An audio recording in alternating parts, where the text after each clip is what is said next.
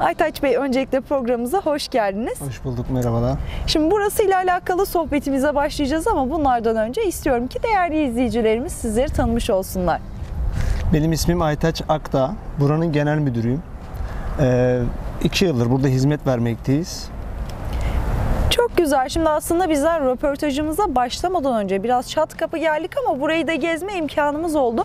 Konseptimiz oldukça farklı. Şimdi sizler burada hangi konseptle ilerliyorsunuz ve hangi güzel lezzetleri tattırıyorsunuz insanlara? Şöyle, kişiye özel burada çardaklarımız var. Ee, genel anlamda e, kendi pişir kendi ye olarak hizmet vermekteyiz. Közde kahvaltı olan e, bir konseptimiz var. O daha ön planda ve insanların sevdiği bir konsept oluştu.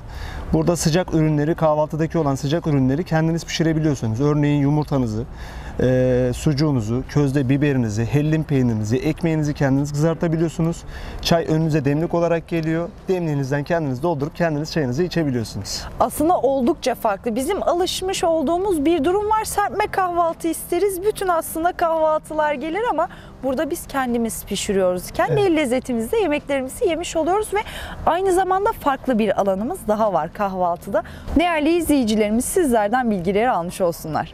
Bir konseptimiz de şöyle, hibrit kahvaltı olarak hizmet veriyoruz. Mahalle konsepti olan bu bahçede e, yine serpme kahvaltının soğuklarını biz masaya kendimiz servis ediyoruz. Sıcaklarını insanlar kendileri e, sıcak alandan kendileri alabiliyorlar.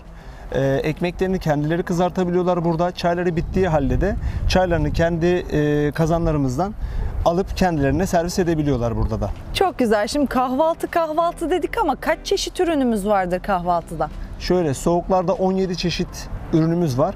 Yaklaşık 4-5 tane çeşit de sıcak ürünümüz var. İnsanların kendisi pişirdiği ya da hibrit kahvaltıda kendisinin alabileceği e, 4-5 çeşit sıcak ürünümüz de var. Toplamda 27-28 çeşit kahvaltımız var. Aytaç Bey son olarak değerli izleyicilerimize neler aktarmak istersiniz?